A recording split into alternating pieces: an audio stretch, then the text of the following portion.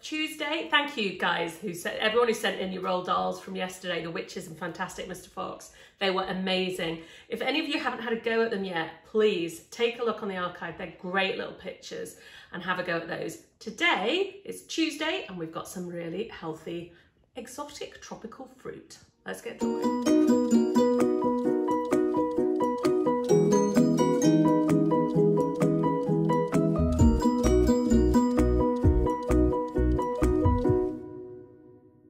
So we're going to do our lovely um, bits of tropical fruit today and we're going to start by thinking, finding the middle of the page, going down a little and what I want you to do is just put pop in a line there and from that line we're going to take it in a curve down here. It's not a semicircle because it's really quite deep. Can you see we're going quite deep down there and then across to make this melon. And from there, so that we can see it from a side view, we're going to come out and round. So coming up to here now, I'm going to start my pineapple. I want them to overlap. So I'm going to go about there, take a little line up and then curve. And again, this isn't really an oval. It's, it's coming up, a little bit of a straight line down, and then a bit more of a curve.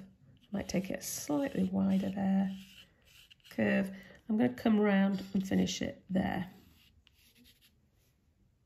And then up here, I'm going to do, I'm just going to start what, what I'll work on next time with my spikes. I'm going to have a spike there and another one there to get that trademark spike on the top of the pineapple. So there's the first shapes if you pause and pop those in.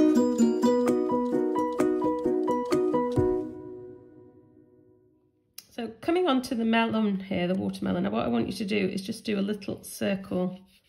I just want to do a shape where you mirror it uh, exactly inside. And then coming down here, you've just got a couple of little wavy lines, which will be the outside of the skin there. And then coming up here, let's put a few more spikes in up here at the top. I'm going to put one there, one curving around to there, and a big one up here at the top.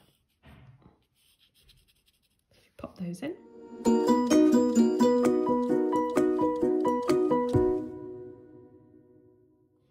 Right, I'm going to pop a horizon line in here because I want this idea of a sort of tropical setting sun. There we go, in the background. And I'm going to put my sunshine there. And then I'm going to put some pips here, just some little pips in my watermelon. Just a few shapes. That's it. That one's probably a bit too big. And then coming in my pineapple, it's not like a solid crisscross as if you're playing noughts and crosses. It's a really, and I'm doing this really lightly because I want to go in with my watercolour pencil and do it. I'm just going to put these crisscross lines in and each one is very light and it's a kind of curve. Put another enough there, like that. And then just to finish off here, I'm going to put another few spikes in. So I'm going to come up with a sort of tall one there and another one coming out there. And then the last one I'm going to put here, like that. And that is my pineapple.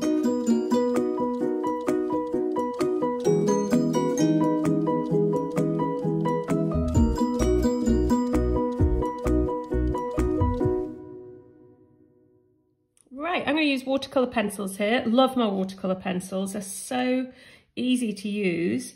Um, all I'm going to do is go around each of these spikes in my uh, dark green.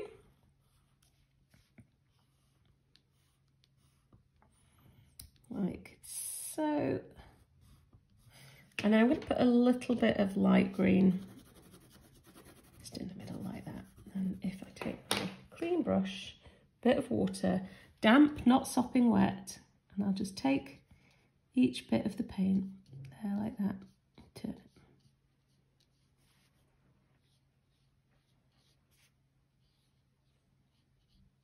So I'm just pulling the pigment here onto my wet brush and it's just painting on the paper like so.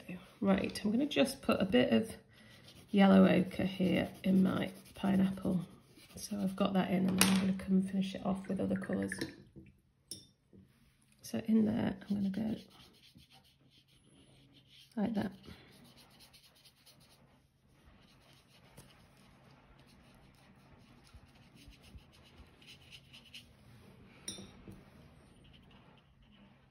There we go. I'm going to be careful as I come to the top because I don't want to get that in. Now coming over here, now I'm going to do my watermelon and I'm going to do this with this gorgeous red. Oh, watermelon to me just is summer. Setting the big chunks of this. Okay, just turn that like that. I'm going to go over the pips because um, I'm going to come back and do those in a minute. All right, and then I'm going to do the dark green here. I'm going to go around the edge like this. And here, I'm just going to put in these little stripes as if it's got that bit where it's a bit slightly pale green.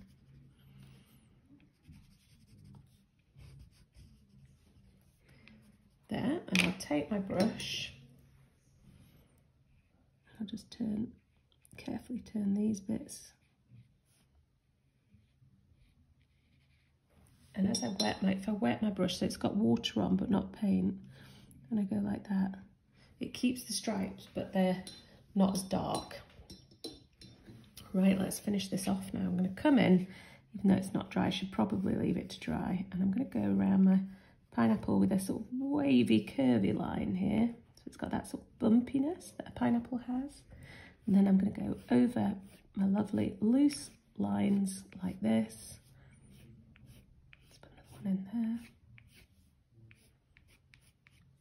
And in a few of them, not all of them, I'm going to put little spots like that here and there. Right, and then if I come on to my watermelon, I can add in the seeds.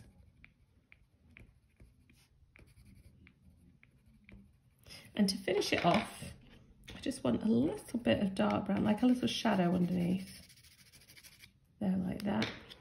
And a little bit of sand here. I'm going to put my, my tropical sunshine there. And a little bit of sea as well, why not, hey? Just a little bit of tropical sea. And then if I take my brush, I can start with the yellow. I'm going to be quite careful coming near the pineapple because it's still wet. A little bit of sand there. And I'll take that into the shadow.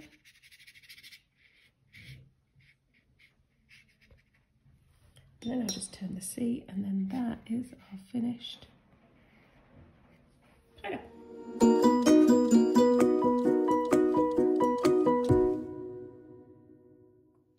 hope you enjoyed that. I hope that was a nice little tropical break.